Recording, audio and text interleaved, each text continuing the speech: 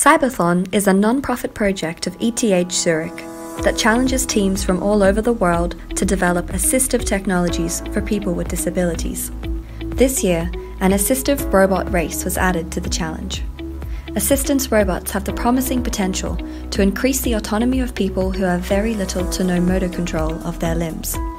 Hi, I'm Jörn, team leader of the EDAN system. EDAN is based on a power wheelchair with a robotic arm. It also has a camera to detect objects and a tablet to provide information for the user. The second Cybathlon Challenge discipline today, the Assistance Robot Race. Teams will have to complete the following two tasks both correctly and as quickly as possible.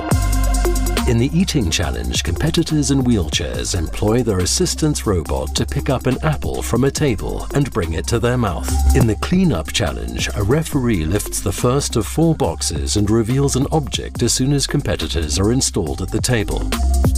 Pilots then have to use their assistance robots to move the corresponding object that has been randomly placed on a shelf to the top of the shelf here, and it's first and foremost with 10 seconds on the clock before the challenges begin. Uh, Robert, it's an attachment to the wheelchair, which uh, really uh, looks like it can be a massive advantage to wheelchair users in so many ways.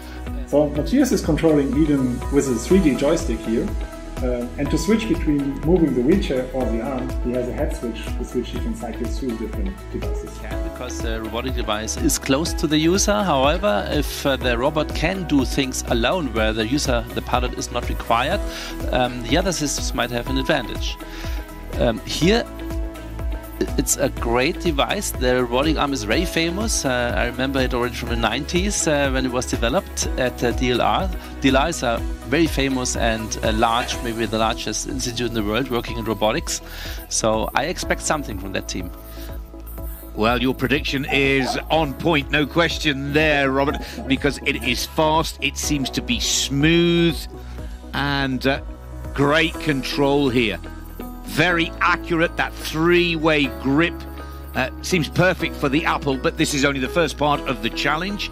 Uh, 50, almost a minute on the clock, and the first part of the challenge almost completely passes the table, and there's 10 points already earned for the EDAN team.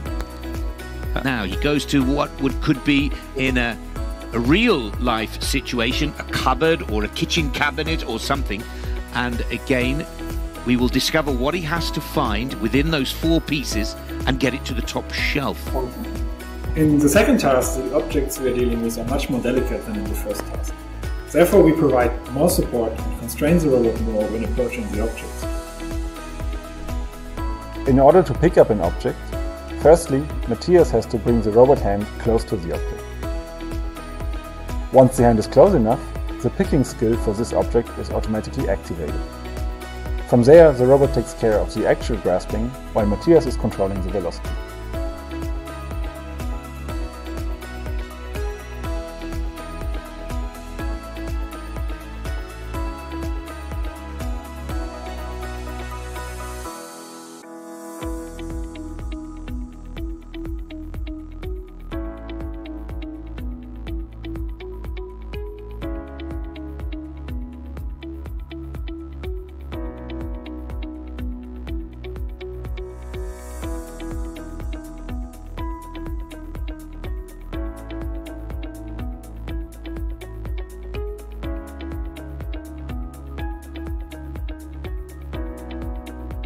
He's got 30 seconds left on the clock to complete this challenge within the five minutes of allocated time. It drops down.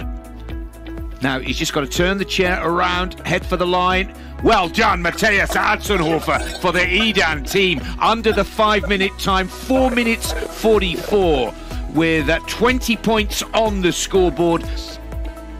Oh, it's going to be so close to see if he can beat his own time from earlier today. He's got to run about 20 seconds ahead. Now the arm gets brought in. He needs to turn the chair and cross that line to stop the clock. And Mattias Atzenhofer has done it. Yes. Oh, brilliant. Four minutes 29. 16, 17 seconds faster. There we go. A 17 seconds time improvement. Tell us a little bit about the robotic arm itself and how it works with you. Ja, es macht äh, großen Spaß, vor allem diese halbautomatische Steuerung, wo man unterstützt wird bei der ganzen Arbeit mit dem Arm schon macht richtig äh, ziemlich viel Spaß. Robert, those are some great pictures, and really, it's exactly what we're all about. We are super happy with today's result, and in the future, we hope that we will be able to provide people with disabilities an actual assistive system for activities of daily living.